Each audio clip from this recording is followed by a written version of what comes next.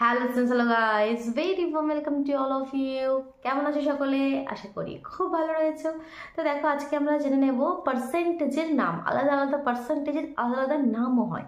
যেমন হান্ড্রেড পার্সেন্টকে আমরা একটা অন্য নামে জানি নাইনটি পার্সেন্ট এইটটি পার্সেন্ট এভাবে একদম টেন পার্সেন্ট পর্যন্ত প্রতিটি পার্সেন্টেজের কিন্তু নাম আছে।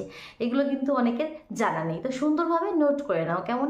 হান্ড্রেড পার্সেন্ট মাত্রাব ডেফিনেটলি একদম হবেই হবে hundred percent definitely ninety percent মতলব almost certainly almost certainly eighty percent eighty পার্সেন্টকে আমরা বলি likely likely eighty percent chance আছে সেখানে আমরা কি বলব? Likely seventy percent probably sixty percent perhaps মানে হতেও পারে, নাও পারে sixty percent perhaps fifty percent maybe এটার মানে ওকে সম্ভবত হতে পারে বা নাও পারে ফিফটি ফিফটি চান্স যেটা বলি।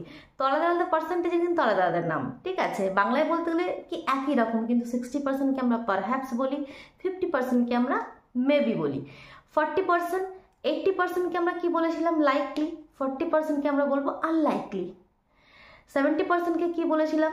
সেভেন্টি পার্সেন্টকে আমরা বলেছিলাম প্রবাবলি থার্টি পার্সেন্টকে বলব ইমপ্রবাবলি টোয়েন্টি পার্সেন্টকে আমরা বলব ডাউটফুলি মানে সন্দেহজনক। সন্দেহের সঙ্গে সন্দেহ আছে এটা সম্পূর্ণ হওয়ার ডাউটফুলি টোয়েন্টি পার্সেন্ট আর ten percent almost never ten পার্সেন্টকে আমরা কি বলব? অলমোস্ট নেভার তো এগুলো নোট করে নাও, অবশ্যই, নাহলে তোমরা কিন্তু ভুলে যাবে। কেমন? চলো তাহলে আজকের মতন, টাটা।